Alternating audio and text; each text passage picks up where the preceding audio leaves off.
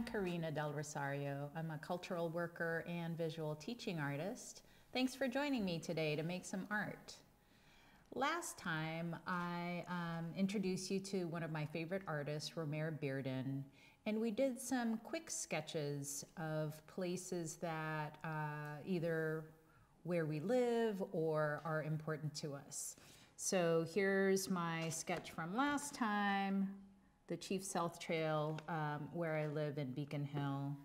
Um, today, what we're going to need uh, are a pair of scissors, a glue stick, um, one big piece of paper uh, that's going to serve as your base, um, and then a bunch of recycled papers. In front of me, I've got some origami paper. I've got uh, an envelope. Envelopes are great because inside is, um, usually, there are usually some patterns in there. I've got newspapers and catalogs. Um, I know a lot of people don't like junk mail, but it's kind of handy for me. Uh, so that's what we're gonna do today is repurpose some of the um, materials that we have on hand uh, wherever we are. Let's talk a little bit more though about Romare Bearden and how he made his amazing collages. So Romare Bearden would draw his neighborhood in Harlem and then he would transform it into this piece of artwork called the block. And you'll notice that he's got the basic ideas down from his original sketch, but he had left himself room to use his imagination include and include all kinds of characters and uh, happenings on the block. So that's what we're going to do today. We're going to use our imagination, but base it on something in reality. We're going to take our sketch and uh, transform that into a collage. Now, a collage is a type of art making where you take a number of materials. In this case, we're taking uh, recycled papers and you basically cut, tear, arrange, and glue those down onto a base. Collage is really fun uh, because it seems like it's going to be easy, but because we're basing it on something in reality, we can really make it uh, much more interesting instead of just having a bunch of random pieces of paper cut up and stuck onto a paper. So before we start with our own uh, collage project, let's take a moment to look at another one of Romare Bearden's collages. This one is from his grandparents' home uh, in North Carolina. What do you notice? What shapes do you see? Do you notice how um, the colors pop out at different parts? Yeah, Bearden uses uh, contrasting colors uh, so that there are some sections that will make it easier for, for you to recognize that it's transitioning from one thing to something else. So it's transitioning from the shoulder of his great grandmother to the wall we're going to think about that or keep that in mind when we're making our own art. We're going to think about colors and shapes. And another thing that I notice in Romare Bearden's work is texture. Texture is what something might feel like if you could touch it. So he's using uh, papers or uh, material that has some light and dark parts to it. So it gives us this idea of texture. So we're going to use that color, shapes, and texture, and we're also going to use contrast, opposites. Contrast could be uh, having something dark against something light, having something that's solid next to something that's really patterned or printed. So we're going to keep that in mind when we're making our own collage. So let's go back to this drawing, this quick sketch that I made of the Chief Sealth Trail. I'm going to start by um, using the background. So up here was the sky. So I'm going to look for some papers that have a lot of blue in it. Um, and, you know, these are catalogs that I had found, and it's going to be okay that they have stuff on it. I just need blue. So I'm gonna start by cutting out the parts of my background because I'm gonna be layering some things on top. I'm not gonna worry too much right now about shape. I just want color. I'll add the shape a little bit later once I kind of figure out how much blue I'm gonna need. All right. Don't wanna make it too obvious that it's a shirt, so I'm gonna take the label out. I'm referencing my uh, sketch. So I'm gonna get some blue down on the paper. That's about, that's about enough blue, I think. I think I wanna cover a little bit more this way. And because the, the um, I'm combining all these different uh, papers and it's gonna cover the whole top, I'm being pretty um, loose with my cutting because I'm just gonna cover it all up like that, okay? I'm gonna wait to glue it down until I um, am ready. So now we have this part here that's gonna be the grass of the field. So I'm gonna look for some greens. Um, there you go. Ha, grass for grass, what do you know? Um, and I might even just tear it. Sometimes when you tear paper that's colored, you get this fun little white edge, so that can help kind of delineate or separate the blue part from the green part. I'm just going to tear some more here. Just lining things up. I'm gonna need some more green for the other part. Oh, that one's got a cat in it. I'm not gonna tear up the cat. Um, more green.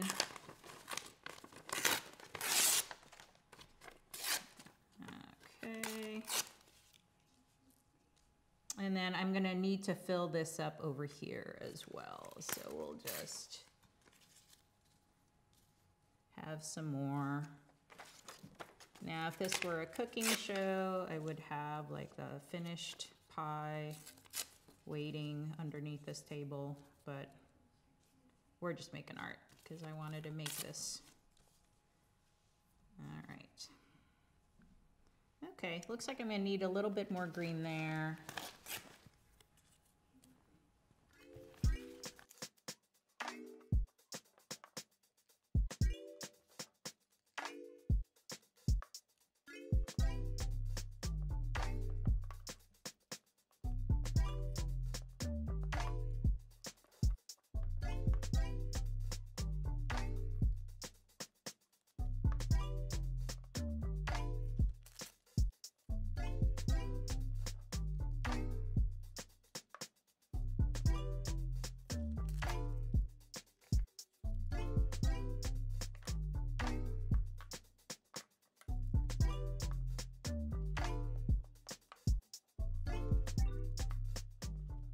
So because I am um, filling my background up, um, I'm just kind of patching together different blues and greens. So it's okay that they're going to um, overlap with each other. It's okay that they're from different kinds of papers. That actually adds some more interest.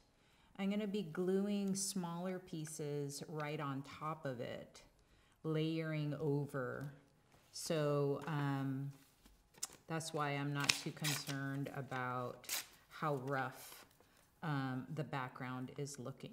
I mean, I could be pickier, but I'm not too worried about it. And I think that's the joy of making collage is that because you're using recycled materials, nothing is too precious. It can be torn up, papered over, all right. So I have a pretty um, solid background with uh, blues uh, for the sky and a variety of greens for the grass. Okay, doesn't look like much right now, but we'll transform it into something. So I'm going to look at my um, reference drawing again of the Chief Sealth Trail, and I'm to uh, focus on these elect electrical towers, and then some of these houses here, and then also this pathway. So I'm going to look for uh, maybe black or brown, um, black or grays to represent the electrical towers. So I could use the inside of this envelope. Um, so maybe I'll start with that.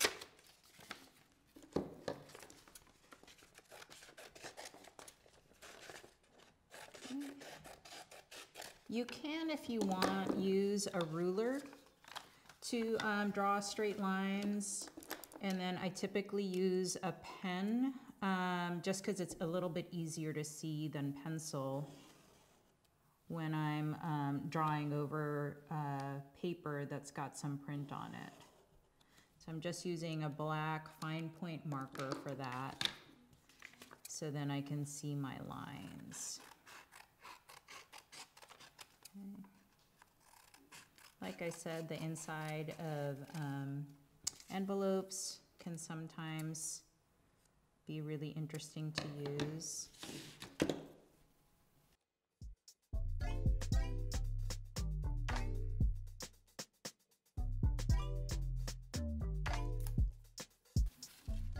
One thing you want to remember when you're using glue sticks is um, try to protect the stuff that's underneath. So I will usually use some scratch paper and then um, do my gluing on top of that. And each time I'll find a new spot. That way I'm not getting glue all over the place.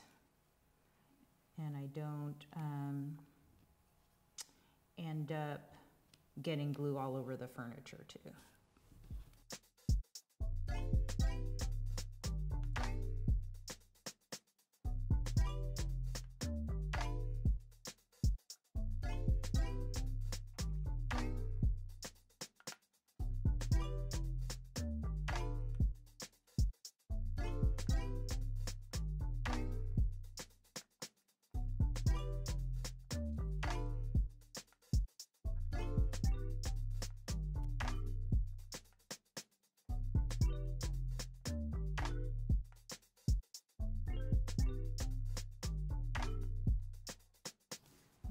So I have most of the pieces down um, on my, of my collage. I think what I need to do is I, um, I put this a little bit too high, the uh, electrical tower, so I'm gonna fill that up with a little bit more green so I can get a slope, and then I'm gonna add a path. Okay, so we're almost there.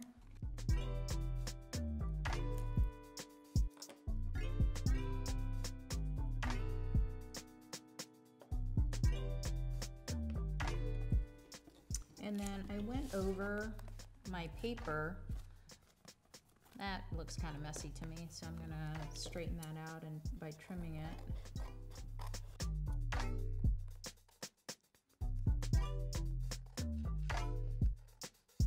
I still want to take the time to make it look good and finished. I don't want to have it uh, feel as messy as I started it uh, in the end. So then I'm gonna need to do a path here. Um, and this is when it's gonna be helpful to um, do, to mark up my um, path with a pen. So I'm going to use my black marker to draw out some curved lines so that when I cut it, I can be a little bit more precise.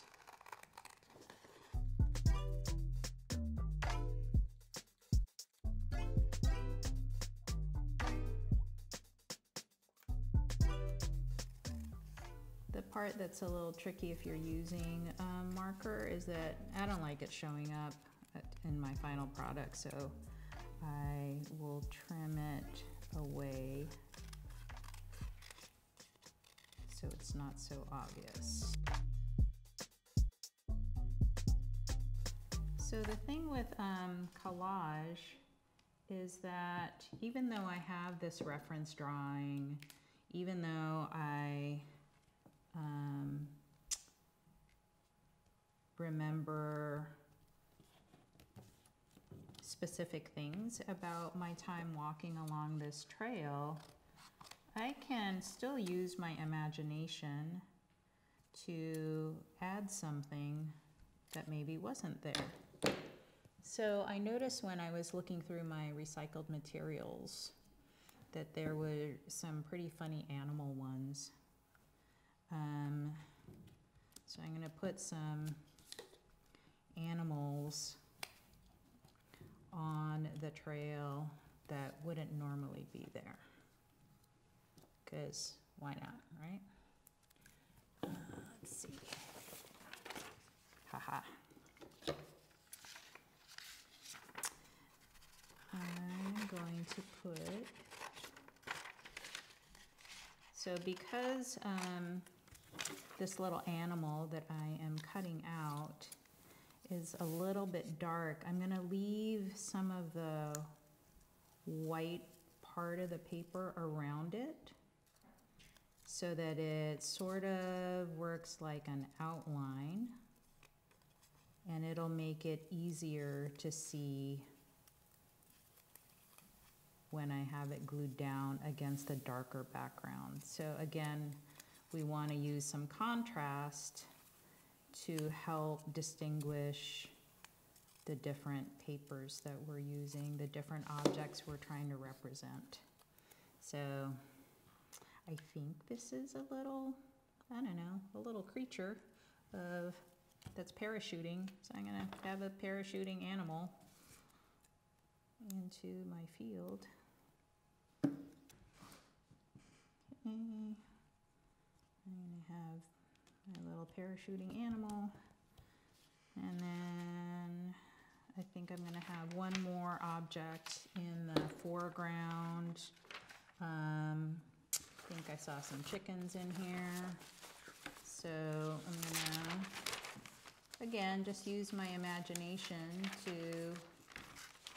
um, add a little bit more interest into the picture. I think that one, let's do this one instead. Usually when you want to add something that's going to be down in the bottom, which is considered the foreground, we kind of want to make it a little bit bigger. So I think just for kicks. See this part right here on the path, it looks kind of empty to me. Um, and even though it's nice that it stands out, it feels a little too blank. Maybe, and sometimes with collage, it's okay to, again, experiment see what works. If you don't glue things down right away, then you can just see how it looks. And if you don't like how it looks, you just get it out of the way. So I was going to put this little picnic basket here, but it feels a little too busy. So instead, I'm just going to use this other picture of some people.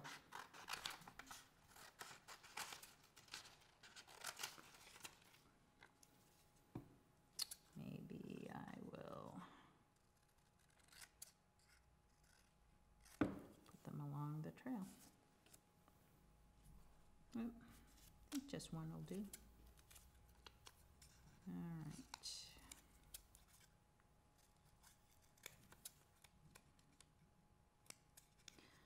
When you do your own collage, you can either use the picture that I used of the Chief Sealth Trail. Um, you can use your own sketch of that, or you can do it with any um, picture of a place that's important to you.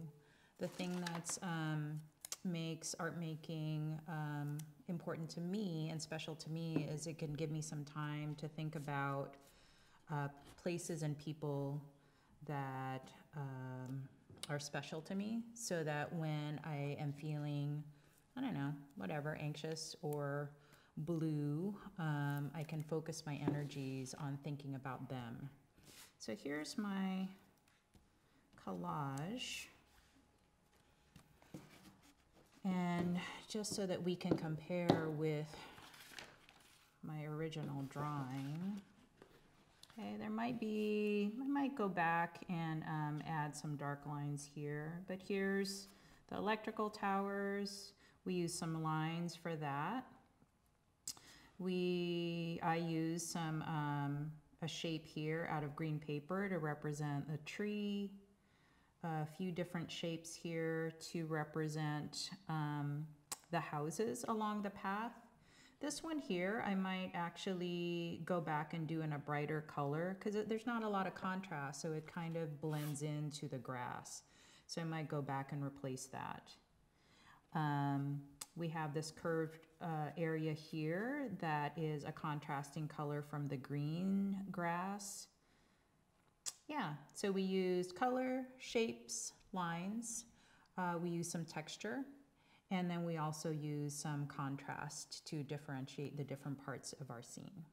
So that's it for now uh, on our collage inspired by Romare Bearden. I hope you can go and find a place that is special to you and make some art inspired by that. Thanks for joining me. Again, I'm Carina del Rosario. I'm a cultural worker and teaching artist. See you next time.